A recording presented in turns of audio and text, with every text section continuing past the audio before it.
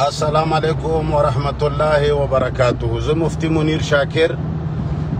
برنګ روډ باندې روان یم څه یوې جنازې ته تعزیت ته ټول زما فالوورز واوره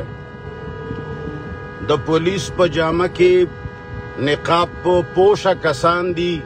ټوپکې ورسره دي او دا نقابونه یې وهلي دي موږ ته روډ کې مخکې شو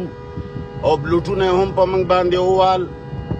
او موږ ته نه روان یو شاته نه راپسې شاته نه روان یو او موږ سره بقاعده دوی بدمعشي کوي د پولیس نه بدمعشان جوړ شي که موږ ته څه هم تکلیف میلاو شو نو دا سرکاري بدمعاشان دي غیر قانوني موږ ته مخې ته شوي دي او زما کور هم معلوم دی زما جومات هم معلوم دی زما مدرسه هم معلومه ده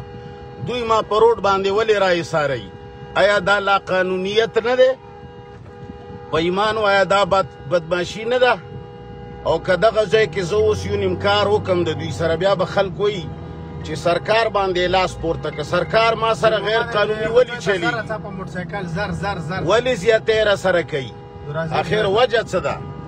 نو د ما ټول زما ټول فالوورز دی خبر شي کماله څه هم تاوان ورسېده دا د پاکستان ادارې دي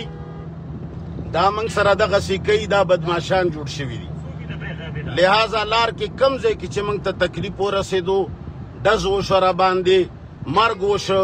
زما ذموار هم دغه سرکار دی او دا نقاب پوش خلک دي نقاب پوش سړي باندې به زه ډس کوم دا یاد وساتئ ما ته دې د سرکار په جامه کې